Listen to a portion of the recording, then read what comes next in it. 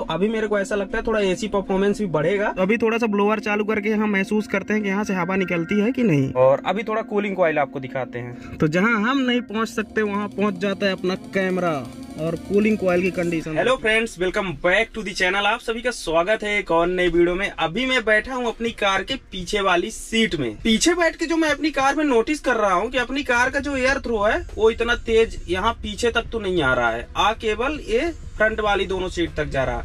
तो चलिए वीडियो को शुरू करते हैं और आपको बताते हैं कि जो एयर थ्रो होता है अपनी कार का ब्लोअर का एयर थ्रो या तो एसी का एयर थ्रो इतना कम कैसे हो जाता है? इसको हम कैसे फिक्स कर सकते हैं? तो चलिए वीडियो को शुरू करते हैं। वीडियो पसंद आएगी तो लाइक करिएगा और चैनल को सब्सक्राइब भी करिएगा।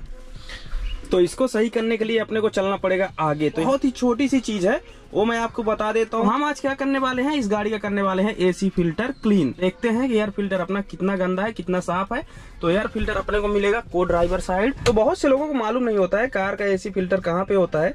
तो मैं आपको बता देना चाहता हूँ कि जो अपना डैशबोर्ड होता है डैशबोर्ड है डैशबोर्ड का एक ग्लव बॉक्स इसी के आसपास रहता है। तो चलिए मैं आपको दिखा देता हूँ। एसी फ़िल्टर आपको अच्छे से दिखाने के लिए मुझे मोबाइल का इस्तेमाल करना पड़ रहा है और इसकी थोड़ा वीडियो क्वालिटी अलग ही आपको आएगी।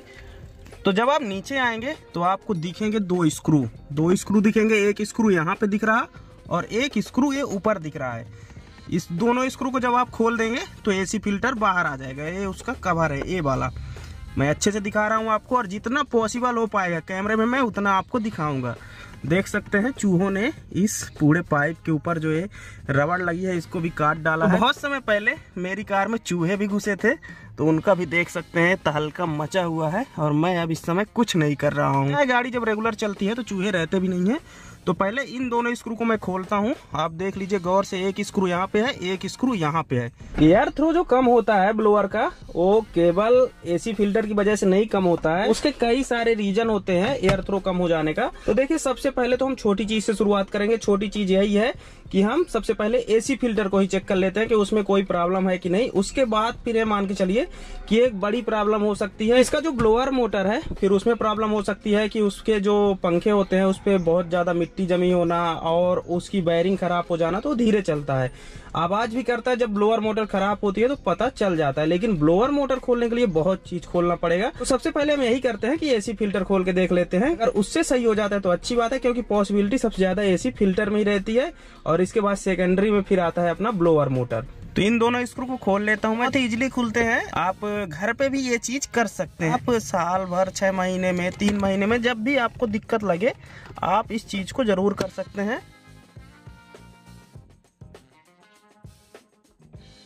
ये आ गया अपना एसी फ़िल्टर का एक कैप देख सकते हैं, इस पे मैंने थर्माकोल भी लगाया है। आजकल की जो वीडियो बन रही है ना, उस पे यही दिखाया जा रहा है कि ब्लोअर की जो स्पीड कम हो रही है एयर का प्रेशर इधर उधर जा रहा है तो उसके लिए फोम लगा रहे हैं लोग बाग तो मैंने एक साल पहले ही कर दिया था अब निकालते हैं फ़िल्टर तो फ़िल्टर कुछ ऐसा दिखता है, इसको आप नीचे से पकड़ के कहीं से भी खींच लीजिए बाहर। इतना जाम लग रहा है इसको निकालने में कि अब क्या बताऊँ, इस पर क्या इतनी गंदगी है तो ये इतना जाम हो गया है। देख सकते हैं, कुछ इस कंडीशन में निकल रहा है। फ़िल्टर तो निकल आया है बाहर, और फ़िल्टर की कंडीशन ज़्यादा कुछ खराब है नहीं। न फ़िल्टर उतना ज़्यादा चौक है। तो देखते हैं कि क्या गड़बड़ी हो सकती है। इसको हम क्लीन करके वापस लगा देंगे। और अभी थोड़ा कूलिंग ऑयल आपको दिखाते हैं। ये एसी फ़िल्टर ऐसा रहता है कि इसे आप बार बार क्लीन भी कर सकते हैं, क्योंकि ये मेस वाला होता है, ना कि कपड़े वाला, ना कि कागज़ वाला। तो इसको आप बार बार क्लीन कर सकते हैं और वापस लगा सकते हैं। तो देख सकते हैं, इस पे मैंने बहुत समय पहले ही फोम लगा दिया था, क्योंकि एयर का लीकेज हो रहा था कूलिंग कॉयल के पास से। जब वहाँ से एयर का लीकेज हो जा रहा था तो फिर इधर बेंट में से एयर थ्रो कम आ रहा था। तो यहाँ से तो प्रॉब्लम सॉल्व थी, लेकिन अभी कूलिंग कॉयल में जैसा कि मैंने आपको दिखाया, बहुत ज़्यादा डस्ट पार्टिकल और उस पर कचरा जमा हुआ है तो उसको क्लीन करेंगे एसी फ़िल्टर भी क्लीन कर देंगे। तो ये फिर अच्छा हो जाएगा। अभी देख सकते हैं, इसकी कुछ कंडीशन ऐसी है, इसमें भी कचरा जमा है, लेकिन कैमरे में उतना विजुअल नहीं हो रहा तो इसको हम क्लीन ही कर देंगे और बहुत ज़रूरी होता है। गर्मियों के टाइम में एसी का अगर परफॉर्मेंस लो है तो फिर आप एसी फ़िल्टर को क्लीन करवा सकते हैं और खुद से भी कर सकते हैं। अगर आप खुद से नहीं करना चाहते, तभी मैकेनिक के पास जाए। एक स्क्रू ड्राइवर की मदद से आप ये काम कर सकते हैं, बहुत कुछ खोलना नहीं पड़ता। तो जहाँ हम नहीं पहुँच सकते, वहाँ पहुँच जाता है अपना कैमरा और कूलिंग कॉयल की कंडीशन देखिए। कितनी ज़्यादा इसमें गंदगी है। यहाँ पे नीचे देख सकते हैं, ऐसा लग रहा कि चूहे हुए मर गए होंगे। यहाँ चूहे न मरे हुए होंगे तो कोई और कचरा ही बहुत ज़्यादा है यहाँ पे। ये देखिए। तो इसको भी हम किसी तरह क्लीन करने की कोशिश करते हैं। इसी की वजह से फ़िल्टर इतना जाम हो गया था, निकल नहीं रहा था बाहर, क्योंकि ये बहुत भयानक यहाँ पे नीचे कचरा जमा हुआ है। और इसको क्लीन करने के लिए आप कोई एक पतला ब्रश डाल के क्लीन कर सकते हैं। मैं आपके सामने करके दिखाऊँगा। तो कूलिंग कॉइल का कचरा निकालने के लिए हम इस ब्रश का इस्तेमाल करेंगे। इसके अलावा अगर उसको अच्छे से क्लीन करना चाहते हैं तो फिर आप उस पर पानी का हल्का प्रेशर मरवा दीजिए। वो पानी कहाँ भरेगा? यहाँ भरेगा। फिर उस पानी को आप निकाल दीजिए धीरे धीरे करके। या तो फिर आप पूरा डैशबोर्ड निकलवा के और फिर उसको अच्छे से क्लीन करवा सकते हैं। लेकिन जो मेरी नज़र में सबसे सही है, वो कि आप बाहर बाहर से ही क्लीन करवा दें, उतना कुछ रहता नहीं है। तो मैं तो अभी इसको क्लीन करने वाला हूँ आपके सामने और चलिए आपको दिखाता हूँ। तो देख सकते हैं, कचरा केवल नीचे है, ऊपर कहीं नहीं है, ऊपर सब साफ़ ही दिख रहा है। लेकिन कूलिंग कॉयल की जो जाली है, वो भी कचड़े से ढकी हुई लग रही है। लेकिन अभी हम इसको, जो नीचे कचरा है, जहाँ से एसी फ़िल्टर अटक रहा था निकलने के लिए उसको हम क्लीन कर देते हैं।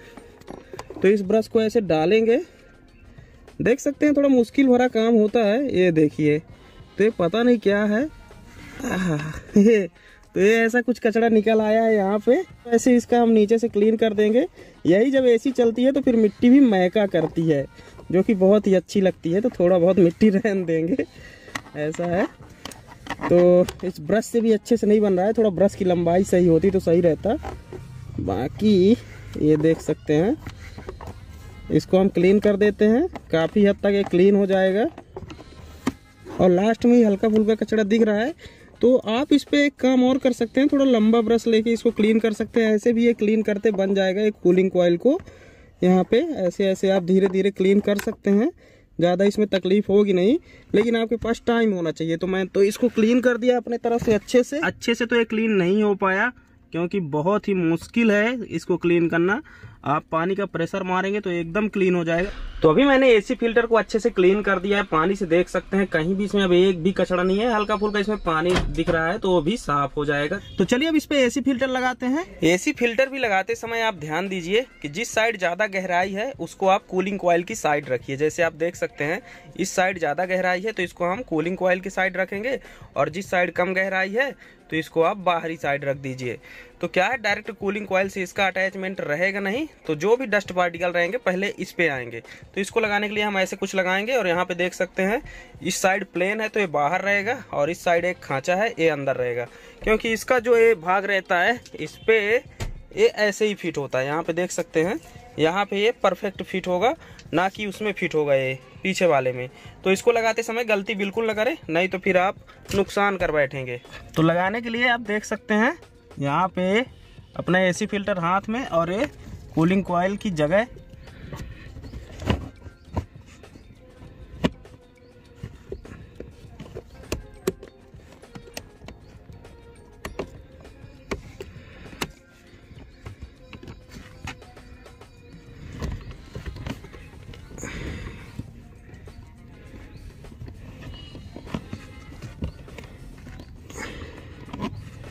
तो देख सकते हैं एसी फ़िल्टर भी बढ़िया लग गया अब इसके कैप को लगा देते हैं दोनों स्क्रू को कर देते हैं टाइट और फिर देखता हूँ कि यहाँ से कुछ एयर प्रेशर लीक तो नहीं हो रहा है। कैप लगाना बहुत ही सिंपल है। वो अपने जगह पर ही लगता है। दूसरी जगह लगाने जाएँगे तो लगेगा ही नहीं। तो एक कैप लग चुका है। अब इसकी स्क्रू लगा देता हूँ। तो एक हाथ से बन नहीं रहा तो एक एक स्क्रू लगा के फिर आपको दिखाता हूँ। देख सकते हैं, दोनों स्क्रू भी अच्छे से लग गए हैं। गैप भी कुछ भी नहीं है। तो अभी थोड़ा सा ब्लोअर चालू करके यहाँ महसूस करते हैं कि यहाँ से हवा निकलती है कि नहीं। तो अभी आपको आवाज़ तो आने लग गई होगी। ये अपना ब्लोअर चल चुका है, तीसरे स्पीड पे है और मैं यहाँ पे हाथ लगा के देखता हूँ, यहाँ पे आप डायरेक्ट ऐसे हाथ लगा के देखिए कि हवा निकल तो नहीं रही है तो अभी तो मेरे को महसूस नहीं हो रहा है, लेकिन एक बार मैं क्या करता हूँ रिसर्कुलेशन नो बटन को दबाता हूँ और देखता हूँ कि उससे निकलती है कि नहीं। आप लोगों ने नोटिस किया होगा कि एयर का जो प्रेशर है वो थोड़ा बढ़ गया है एयर थ्रू बढ़ गया है तो अभी देखता हूँ अब निकलती है कि नहीं।